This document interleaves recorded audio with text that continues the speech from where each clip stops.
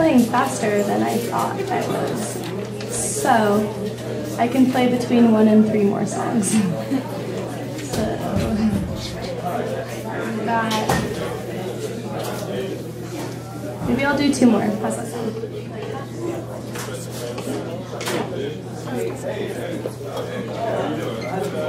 Um, so this next song is called "The Perfect Trip."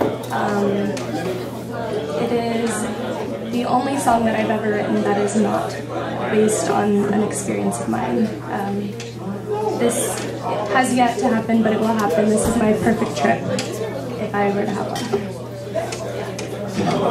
one.